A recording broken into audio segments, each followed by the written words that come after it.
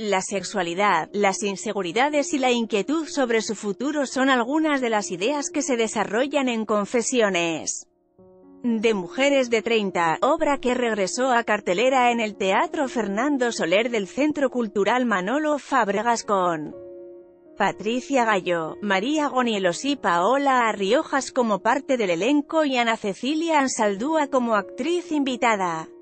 Dieron la bienvenida a las actrices sus colegas Agustín Argüello, Pedro Prieto, Adrián Dimonti y Rodrigo Cachero.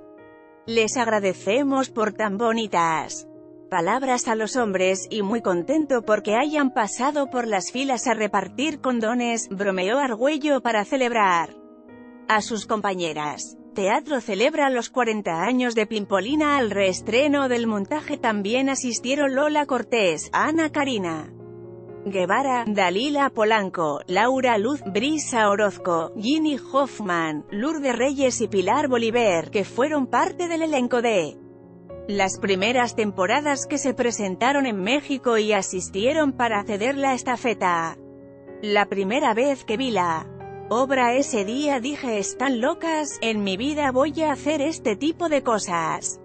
Y dos años después, entré a esto. Estaba terriblemente aterrada, dijo Cortés, quien se estrenó en el teatro de cámara con este montaje, luego de una larga participación en el teatro musical. Confesiones de mujeres de 30, cuenta con tres actrices en escena, quienes a lo largo de 90 minutos cuentan los problemas a los que se han enfrentado una vez que llegaron a esta edad. Entre los conflictos están las relaciones y rupturas amorosas, la inestabilidad económica a la que se enfrentan, la apariencia física y la necesidad de encontrar un espacio en el mundo.